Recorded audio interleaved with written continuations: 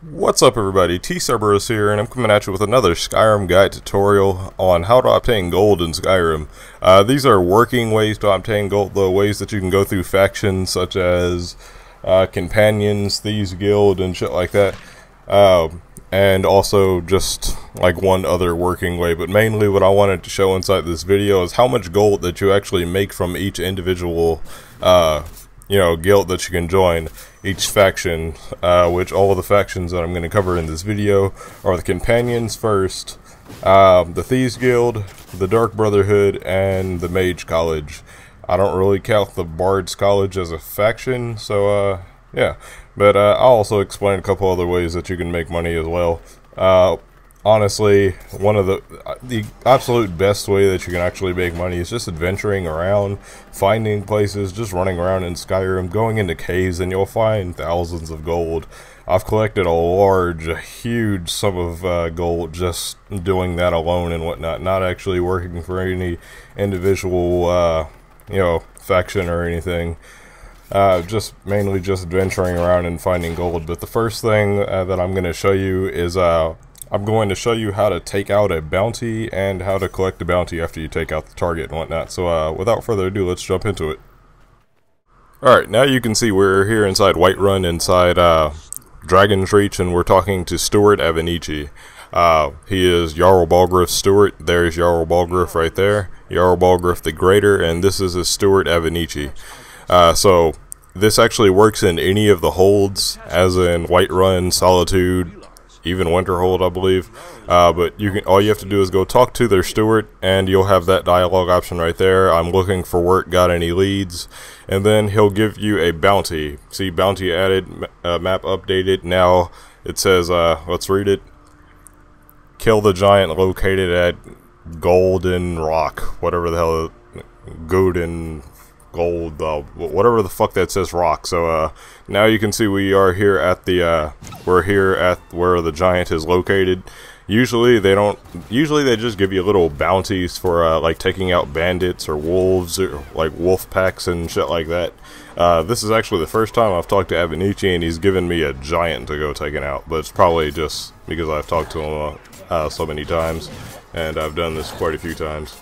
Um, so that's one giant down. There's the other one. That's the one that we're actually here to take out. He did something to piss off the Jarl. But uh, yeah, you can see they're dead. Now it says collect the bounty from Avenicci. So now we're going to go back to Avenicci, talk to him, and you'll have the dialogue option. The giant golden royal is dead. Here for the bounty. I'm here for the bounty. And uh, yeah, so now he's going to give you 100 gold, a whopping 100 gold. What, that's not good enough for you? Of course it's not, so uh, let's go show you uh, how much the factions pay you for uh, work.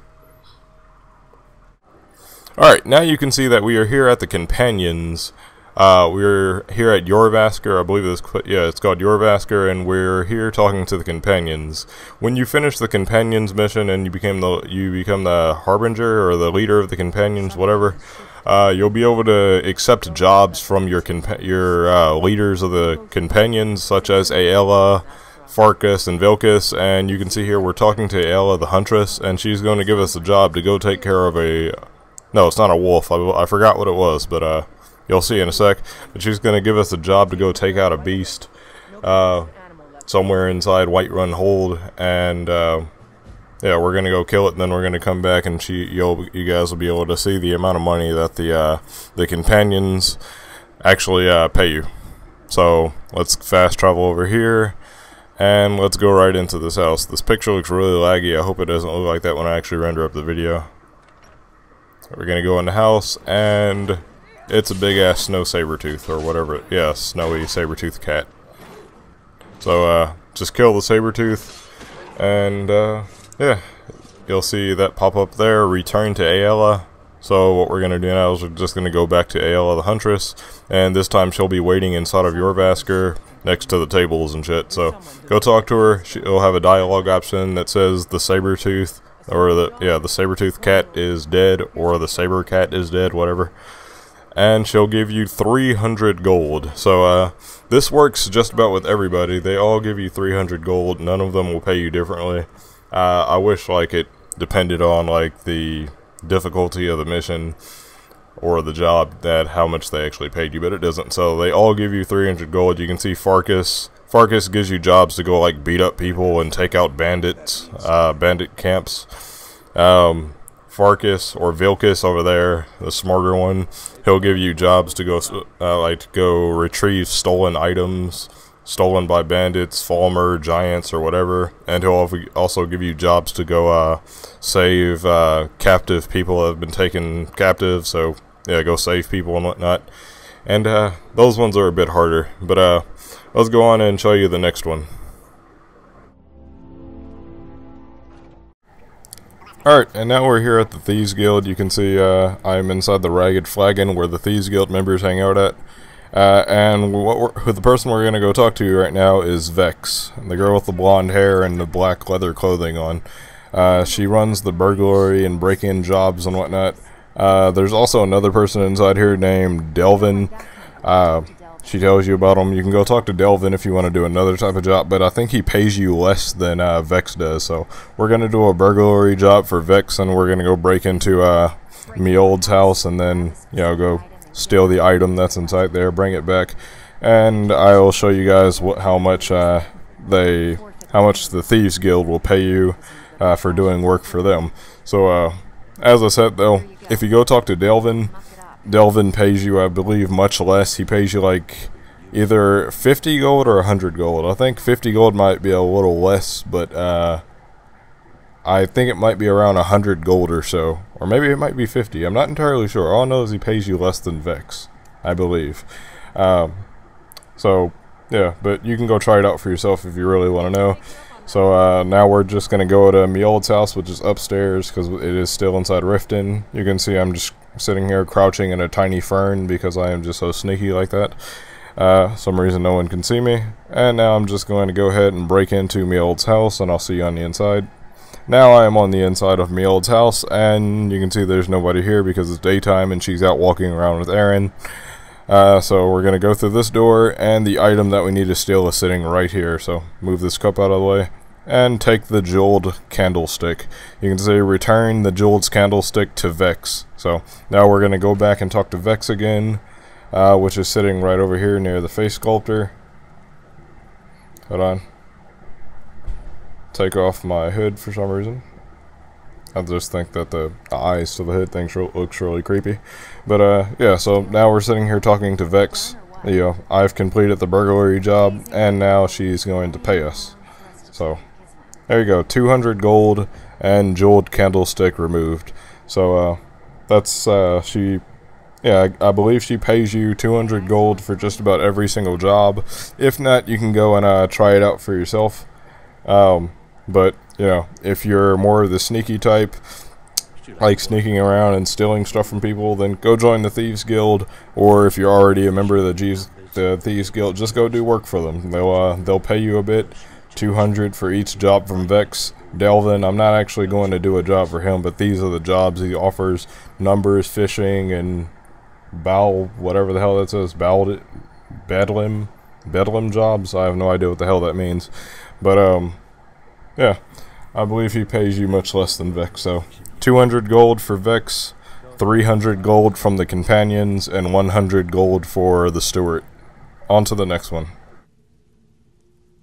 Alright, and now you can see we are here inside the sanctuary, uh, the Dark Brotherhood sanctuary in Dawnstar. Yeah, inside Dawnstar. Uh, and we're here to talk to the Night Mother, as you can see here. I'm just fast forwarding through it, and the mission should pop up in just a sec. You don't actually have to stand in front of her to get the uh, the contract, but just go talk to her, and then that'll pop up. Speak to the contract. So we're gonna go ahead and uh, switch over to where the contract is, and here we are. The contract is now here, uh, and as you can see, it my video is getting all blurry again, but I hope that doesn't happen when I'm murdering up the video. Uh, I'm some reason going to change my outfit and go talk to the contract, which is sitting right over here. So as you talk to him, uh, he's going to tell you who to go kill, where he is, and whatnot. Uh, a fishing wife in Riften at the Riften dock, so that's who we're going to go kill. And then, as you can see up there, 800 gold. He just gave you 800 gold. And now I'm going to go kill the target, even though I can just take his money and run. But I won't be able to get another contract, so... Uh, now we're just gonna, you can see that the fishing wife is right over there. We're just gonna sneak around behind her and slit her throat. There we go. Okay, the fishing wife is now dead. Uh, and we have our 800 gold. Now we can, you see how easy that was. You can just go and do that over and over again if you're more of the sneaky, assassinating type and whatnot. If you like to stab people in the back or slit their throats or whatever, you can join the Dark Brotherhood and get paid 800 gold for each contract. Also, you can get paid by the black guy or the red guard inside uh, the sanctuary. I forget what his name is, but the red guard inside of the sanctuary. You can uh, take contracts from him as well, but he has a limited amount of uh, contracts. So, uh, Alright, so as you can see here, we're at the College of Winterhold, and I'm fast forwarding through this so we can uh, hurry up and get through this video. I don't want it to be too long. But you're going to go talk to Tolfdir at the College of Winterhold after you become the Arch uh, Mage and whatnot. And he'll have a dialogue option that says, Is there anything I should be aware of? And he'll give you a mission to go to one of the holds, uh, one of the holds in Skyrim uh, and you'll have to take care of this magic anomaly where you have to close down this portal. You can see right there, close the Rupture or re Reacher or whatever the hell it said. And uh, you will need the Staff of Magnus, as you can see, which you do get after you beat the College of Winterhold faction. So uh, you do need to complete the College of Winterhold in order to do these jobs. So uh, as you can see here, we are somewhere behind Solitude because uh, Jarl of Solitude contacted the Mage College and told us about a magic anomaly that happened, and this is all because of the, the Eye of Magnus and the Staff of Magnus and whatnot uh, going throughout the mission for the College of Winterhold. So uh, this is just one of the, uh, I guess one of the side effects that added to Skyrim that you have to take care of. Uh, you don't actually have to, it's just a mission that you can do uh, for, you know, the College of Winterhold. Uh, so to you. Alright, so you can see return to Tolfdir after you take care of that portal. All you have to do is just shoot it with the Staff of Magnus. Uh, fight it, which I had a whole bunch of things fight it for me. But, uh, yeah. so, let's uh, return to Tolfdir, and you can see I've taken care of the dist that, you know.